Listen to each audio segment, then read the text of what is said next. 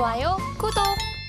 네, 팀장님 먼저 오늘 건설주를 좀 알아보고자 합니다. 고금리가 장기화되고 우리 부동산 시장도 좀 냉각기를 걸으면서 올해 건설주들이 크나큰 힘을 내지 못했다고 봐야 될 것 같은데 연말에는 또 스퍼트를 내고 있는 모습입니다. 오늘 시장에서만 바라보더라도 약세를 보이곤 있지만 연중의 하락세보다는 좀 덜한 모습인데 올해 동안을 봤을 때 주요 건설주들 추세는 좀 어떻게 평가하셨을까요? 올해 같은 경우만 보면 어, 뭐 상반기에는 좀 낙폭이 굉장히 과대한 종목으로 평가가 되었다가 네. 좀 6월, 7월 그때부터 건설주에 대한 좀 안전에 대한 문제가 생기면서 그동안 좀 더 낙폭이 과대한 모습들 그리고 다시 한번 반등이 나왔는데 반등이 나, 다시 나온 시점이 11월, 10월 말부터였습니다. 그러니까 10월 말부터 조금씩 스퍼트를 내면서 11월부터 조금씩 주가의 강세 흐름들이 나왔다라고 보시면 좋을 것 같은데 어, 그 부분 같은 경우를 봤을 때 대다수의 낙폭이 과대하게 나왔던 종목군들이 이때를 기점으로 올라온 모습들이 나와주고 있어요. 그 뜻은 무엇이냐면 건설주에 어떠한 호재가 있어서 지금 올라온 것이 아니라 금리 인하에 대한 기대감으로 수급이 들어온 것에 대한 부분이라고 생각을 해보시면 좋을 것 같습니다. 네, 일단 금리 인하 속에서 건설주에 좀 수급이 들어오고 있다라고 평가를 해주셨습니다. 금리 이제 인상에 대한 우려감은 좀 사그라들고 이제 금리 인하 기대감이 감돌고 있습니다. 그러면서 11월 전반으로 살펴본다면 건설주가 그래도 좀 힘을 내는 모습이 나타났는데 이걸 추세적인 상승으로 봐야 할지 아니면 단기적으로 저점 매수로만 좀 저희가 진입을 해봐야 할까요? 네, 저는 지금 낙폭 과대에 따른 반등 정도로 판단을 하고 있는데 지금 현재 구간 같은 경우에는 바닥을 어느 정도 확인을 했다 정도로만 네. 인지를 해보시면 좋을 것 같고요. 실제로 낙폭이 과대하게 나왔던 종목군들을 보면은 굉장히 어, 좀 많이 쉬었던 종목군들입니다. 굉장히 많이 쉬었기 때문에 낙폭 과대라고 불리는 것이긴 한데 관련했을 때 수급이 어느 정도 조금만 들어오더라도 반등이 좀 나올 수 있다는 점을 생각을 해보면 지금 다시 한번 수급이 빠져나갔을 때 이 산업 같은 경우는 지금 이 추세를 유지할 수 있을 것이냐에 대해서 물음표가 생긴다. 라고 볼 수가 있겠는데 물론 통상적으로 건설업 같은 경우에는 금리가 인하를 하게 되면 통상적으로 호재가 맞긴 합니다. 맞 긴 한 이유가 건설업 같은 경우에는 현재 사실 업황 자체가 좋지 않다 보니까 이자에 대한 부담감도 굉장히 많이 나와주고 있고 재무에 네. 대한 부담감도 굉장히 큰 상황입니다. 어, 원자재 가격도 계속 상승을 하고 있고 인건비에 대한 부담감도 계속 늘어나고 있는데 그런 와중에서 금리가 인하를 하게 된다면 물론 업황 자체에서 활기를 조금씩 띨 수는 있는 부분이죠. 하지만 금리가 인하한다고 건설업이 무조건적으로 굉장히 빠른 시일 내에 회복이 될 것이냐에 대해서는 다른 문제입니다. 금리가 인하를 하나, 한다고 했을 때 실제 주택을 구매하려는 수요 자체가 폭발적으로 나올 것인지에 대해서도 물음표가 하나 생긴다라고 보시면 좋을 것 같고요. 거기다가 더해서 우리나라의 문제라고 볼 수가 있는 게 건설업 자체는 전택 그 주 그 주택 피, 부동산 PF 관련했을 네. 때도 여전히 문제가 남아 있다는 점을 봤을 때 여전히 이 부분에 대해서도 조금 더 확인을 해볼 필요가 있다. 거기다가 더해서 어, 정부의 정책과 관련했을 때도 이야기를 해볼 필요가 있는데 여전히 지금 건설에 대해 그러니까 주택을 구매하려는 수요 자체가 굉장히 위축이 되어 있어요. 그러면 정부가 주택을 사기 위해서 어떠한 정책을 내 펼칠 필요가 있는데 아직까지 총선 전까지는 그런 스탠스를 펼칠 가능성이 조금 적습니다. 아무래도 부동산 가격을 잡을 필요가 있기 때문에 어, 관련했을 때 총선 전에 이야기가 나오려면은 지금 이미 이야기가 나왔어야 하는 상황이고요. 그러면 부동산 같은 경우는 어, 지금 당장보다는 업황에 대한 문제가 아직까지 굉장히 많기 때문에 총선 이후에 총선 끝나고 관련했을 때 어떠한 정책이 나오는지를 한번 살펴볼 필요가 있지 않을까라고 보여지고 있습니다. 네, 금리 인하 기조와 건설주의 상승이 일대일 대응 관계가 아니고 뭐 부동산 시장의 이슈도 살펴봐야겠고 총선 이후에 어떤 정책이 나오는지까지 한번 지켜보자라고 정리를 해주셨고요.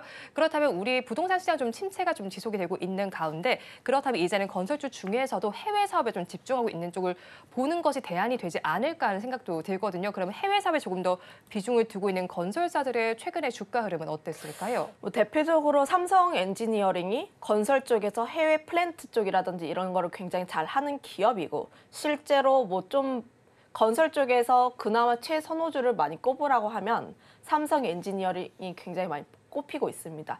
그 이유가 건설 같은 경우는 국내 쪽은 아직까지 PF라든지 주택에 대한 수요라든지 이런 부분이 좀 나와 있지만 그래 그럼에도 불구하고 해외 쪽에서는 이미 잘 나가고 있는 친구들이 나, 있거든요. 실제로 삼성 엔지니어링이 그 대표하는 종목이다라고 보시면 좋을 것 같은데 다만 삼성 엔지니어링의 지금 현재 주가 차트 흐름을 보면 어, 상반기 때까지는 굉장히 좋았습니다. 8월까지는 굉장히 큰 폭의 상승세가 나왔지만 8월 이후부터는 좀 큰 폭의 하락세가 나왔다. 지금 같은 경우에 좀 매물대가 어느 정도 받쳐주게 되어 있으면서 바닥권 라인에 머무르고 있다라고 보시면 좋을 것 같은데 어, 관련했을 때 삼성 엔지니어링이 물론 올해 실적 영업이익 9천억 원대로 역대 최대 실적을 좀 나올 가능성이 있는 기업이 맞기는 합니다. 하지만 하- 하반기에 주가 하락을 이끌었던 가장 큰 요인이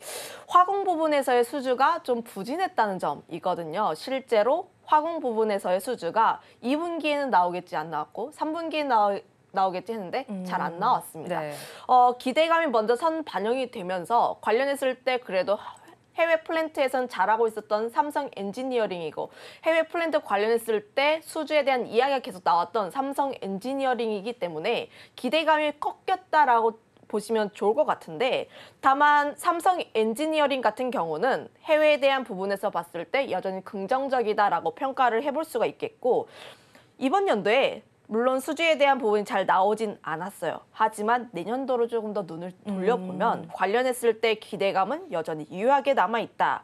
24년도 같은 경우에는 사우디 관련했을 때어좀 수주에 대한 기대감도 나와 있기도 하고 그린 수소 프로젝트에 대한 기대감도 굉장히 네. 많이 남아 있는데 특히 삼성 엔지니어링이 친환경 플랜트에 대해서 굉장히 큰 강점을 가지고 있습니다.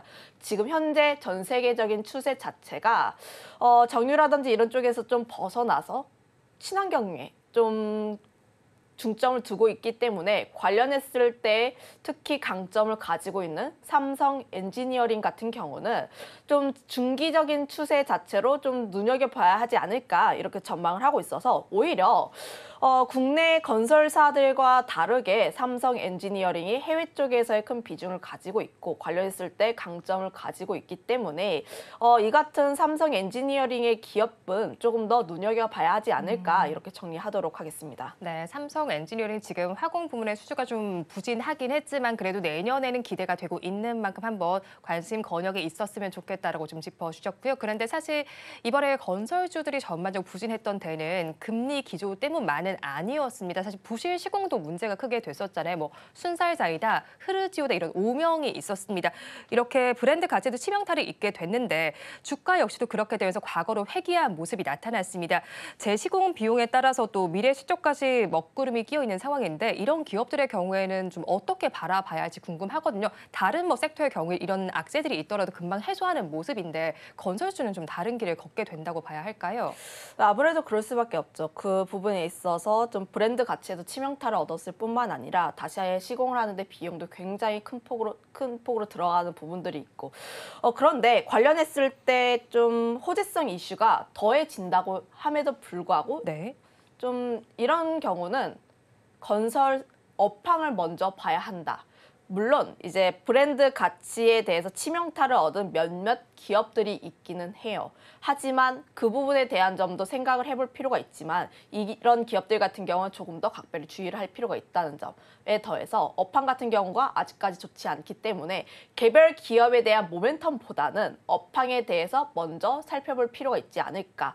어, 주식을 할 때 그러니까 투자를 하는 데 있어서 가장 먼저 살펴봐야 하는 게 첫 번째로 시장입니다. 시장이 가장 좋을 때 투자를 하는 게 좋을 것 같고요. 두 번째로 보는 게 업황이고 세 번째로 보는 게각 기업이 가지고 있는 모멘텀 그리고 네 번째가 차트인데 우- 우선 GS 건설이라든지 관련했을 때 국내 건설사들을 봤을 때 두 번째 업황이 아직 좋지는 않다는 거죠. 네.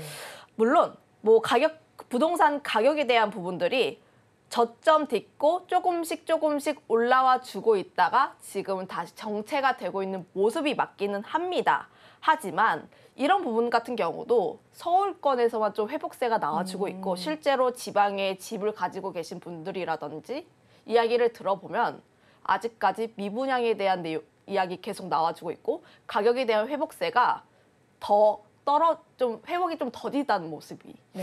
계속 나오는 것을 보면 여전히 부동산 업황 같은 경우에는 추세적인 반등이 굉장히 어렵다. 그거에 따라서 어, 물론 각 기업이 가지고 있는 개별적인 호재도 있고 부정적인 내용들도 있을 거예요. 하지만 그런 부분에서 집중을 하기보다는 업황에 대한 회복이 우선적으로 나올 필요가 있다는 점을 보면은 저는 여전히 건설업 같은 경우는 해외 쪽에서 좀 진행을 잘 하고 있는 기업들의 경우는 중기적인 관점에서 어, 저점 매수가 유효하다라고 판단을 하고 있긴 하지만 국내 같은 경우에 좀 비중이 많은 기업들, 특히 브랜드의 치명타를 입은 기업들의 경우는 더욱더 보수적인 관점에서 돼야 되는 것이 아닐까 이렇게 정리하겠습니다. 네, 건설 업황 자체가 먼저 회복이 돼야 된다고 정리를 해주시면서 해외 사업 비중이 높은 쪽을 좀 중기적인 관점을 보는 것이 낫겠다라고 정리를 해주셨습니다. 오늘 건설주 전반에 대해서 좀 살펴봤는데 top pick 종목 이 안에서 가지고 오셨을까요? 아니 저는 반도체 섹터 음. 쪽에서 가지고 왔는데 최근 들어서 반도체 섹터 같은 경우도 on-device AI라든지 HBM 쪽에서의 강세 흐름들만 나와줬다면 네. 최근에는 반도체 섹터 내에서도 순환매가 굉장히 빠르게 돌고 있어요.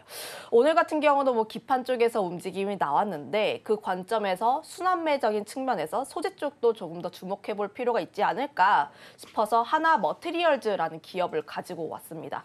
어, 하나 머티리얼즈 같은 경우도 좀 관련했을 때 아직까지 주가의 움직임이 크게 나오지는 않았어요. 어, 관련했을 때 아직까지 박스권 내에서 움직이는 모습들이 나와주고 있는데 하지만 우리가 계속 관심 있게 봐야 하는 점은 반도체가 내년에는 업황적으로 턴을 할 것이라는 점.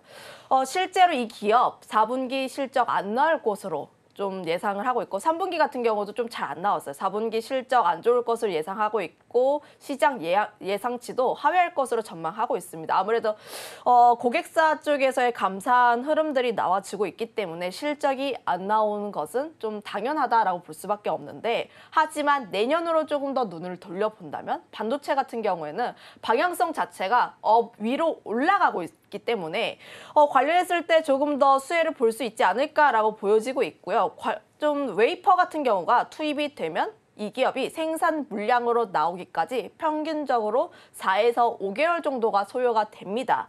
어, 디램 같은 경우에 내- 내년 1분기, 낸드는 내년 2분기부터 업황이 turn할 것으로 기대를 하는데 물론 주가의 측면에서 봤을 때 6개월 정도 기대감이 먼저 선 반영된다는 측면을 보면은 현재 이 시점에서 소재 부품 관련 기업들은 계속해서 관심을 가져볼 때가 아닌가. 거기다가 더해서 이번 주 같은 경우에 특히 변동성이 조금 더 크게 나올 것으로 예상을 하고 있어요. 네. 아무래도 FOMC도 있고 네바이너의 말- 날도 있고 하다 보니까 관련했을 때 변동성이 조금 더 크게 나올 수밖에 없다. 하지만 아직까지 움직이지 않은 반도체 종목이 있고 내년부터 업황이 턴을 할 것이고 실적도 다시 좋아질 것이라고 예상이 되는 기업이 있다면 관련했을 때 저점 매수에 대한 전략은 여전히 유효하다는 점 한번 체크를 해보시면 좋을 것 같습니다. 네, 저희 그럼 가격 전략 어떻게 잡아갈까요? 이 기업 같은 경우를 봤을 때 좀 보수적으로 접근해 보시면 좋을 것 같은데 크게 움직이는 기업이 아닙니다. 4만 5천 원대에서 4만 8천 라인대까지 좀 분할적으로 접근을 해보시면 좋을 것 같고 목표가 같은 경우에는 전고점을 조금 뛰어넘는 5만 4천, 손절가는 3만 9천 원 라인대에 제시하도록 하겠습니다.